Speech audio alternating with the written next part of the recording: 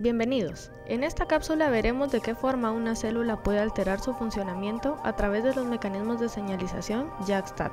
Los objetivos de la cápsula serán comprender la diferencia entre un receptor tirosinquinasa con actividad catalítica y un receptor asociado a JAK-STAT, describir los mecanismos de autorregulación en la cascada, entender cómo alteraciones en el proceso se reflejan en la pérdida de la homeostasia en la coordinación de señales intracelulares, y comprender las generalidades de algunos mecanismos de acción farmacológica.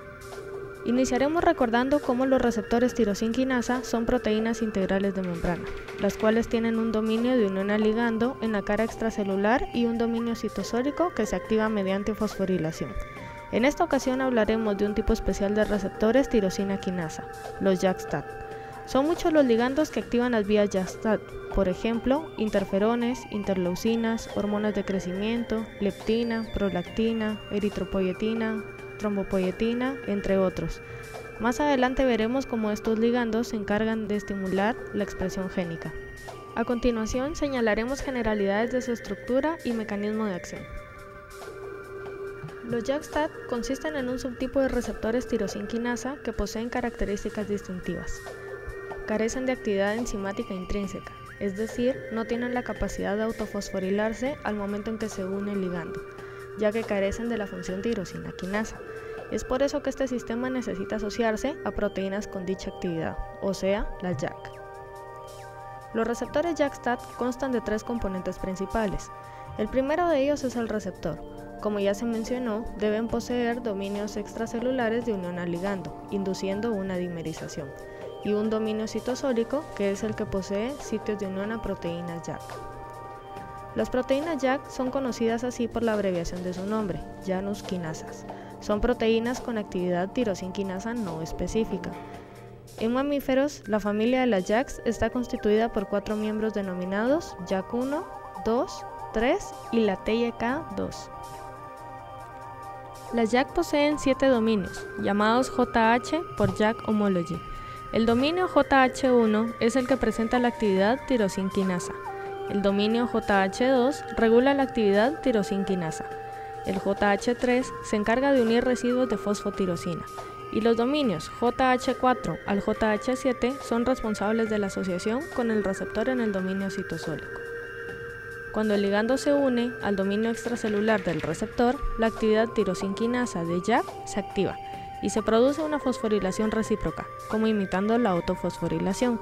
Esto permite que el receptor pueda activarse. El tercer componente de esta cascada son las proteínas STAT, o sea, las transductoras de señal y activadoras de la transcripción, por el significado de sus siglas en inglés. Están constituidas por siete miembros, STAT1, 2, 3, 4, 5A, 5B y STAT6. Estas presentan seis dominios. Está el dominio N-terminal, que es el encargado de regular la translocación nuclear y favorecer la interacción de las STAT con otras proteínas y el ADN.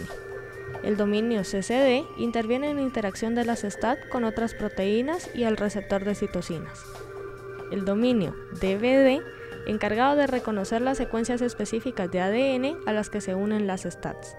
El dominio de unión, el cual la función es conectar el DVD con el dominio SH2. El dominio SH2 posee la capacidad de reconocer residuos de fosfotirosina cuando el receptor es fosforilado. Este cambia de conformación y convierte un sitio de su dominio citoplasmático en un sitio de unión a SH2, o sea, donde se unirá a STAT. Por lo tanto, STAT deberá tener un dominio SH2 para poder unirse y ser fosforilada. Y por último, el dominio TAD, que es el encargado de regular la transcripción. Entonces, en las células no estimuladas, las proteínas STAT se encuentran inactivas en el citosol. Cuando JAK activa el receptor, las STAT se unen a través de su dominio SH2 a los residuos de fosfotirosina en el receptor. Sin embargo, una vez fosforiladas, las proteínas STAT se dimerizan a través de sus dominios SH2 cambiando hacia una conformación activa que les permite migrar al núcleo, donde activan la transcripción de los genes diana. A continuación se muestra una tabla con algunos ejemplos de ligandos que actúan uniéndose a receptores de la familia de receptores de citoquinas. Se muestran también las JAK y STAT que son activadas durante el proceso de señalización, indicando que cada una tiene receptores y sitios de unión relativamente específicos. Como todo sistema de señalización, JAK-STAT amplifica su señal mientras duren los estímulos. Sin embargo, para mantener la homeostasia de la comunicación celular, su actividad debe disminuirse por acción de reguladores negativos. Existen tres familias principales de reguladores negativos. Primero tenemos a las PTPs, que son las fosfatasas de tirosina. Estas se encargan de desfosforilar a las JAK o a las STAT y por lo tanto las van a inactivar. El segundo son las SOX.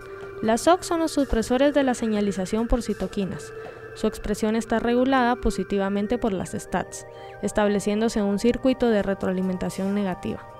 Las SOX regulan negativamente la vía JAK-STAT a través de tres mecanismos. El primero es cuando las SOX se unen por medio de su dominio SH2 al receptor de citoquinas, impidiendo el acceso de las STAT. El segundo sería cuando las SOX son capaces de unirse a los residuos de fosfotirosina de JAK, impidiendo la actividad quinasa de esta. Y el tercero sería cuando las SOX facilitan la ubiquitinación de la JAK, con lo que inducen su degradación en los proteosomas. La tercera familia de reguladores negativos serían las pías, que son las proteínas inhibidoras de las STAT activadas. Estas se unen a los dímeros de STAT activos y bloquean su unión al ADN, evitando que se lleve a cabo la transcripción. Existen algunas alteraciones en la regulación de la vía de señalización JAK-STAT asociadas a varias enfermedades humanas. Esta vía regula muchos aspectos críticos del crecimiento, la diferenciación y la supervivencia celular.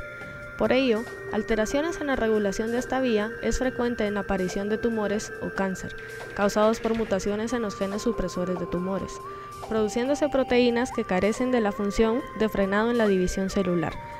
Por ejemplo, al sobreestimular algunos genes se altera la apoptosis, el ciclo celular o pueden promover el crecimiento y la división celular. La división ilimitada de las células interfiere finalmente con las funciones fisiológicas normales, Muchos de los genes dañados, que serían los oncogenes, codifican proteínas que actúan previo a estas vías de señalización. Por tanto, la inhibición de las proteínas tirosinquinasas en estas vías tienen alto valor en el tratamiento de enfermedades como cáncer de mama, evitando la formación de tirosinas quinasas con actividad incrementada por mutaciones en el gen HER2. Asimismo, los tratamientos pueden ayudar a evitar la angiogénesis, al inhibir el receptor del factor del crecimiento del endotelio vascular, lo que permite dejar al tumor sin nutrientes y evitando así el crecimiento de tumores. Existen algunos tratamientos de cáncer a través del uso de inhibidores de proteinquinasas. Muchos oncogenes y genes supresores de tumores mutantes codifican proteínas quinasas o proteínas que actúan en rutas con anterioridad a las proteínas quinasas. Primero, los inhibidores más sencillos de las proteínas quinasas son análogos del ATP, que ocupan el sitio de unión al ATP, pero no pueden actuar como dadores de grupo fosforilo. Por lo tanto, así evitaríamos la activación de las proteínas quinasas.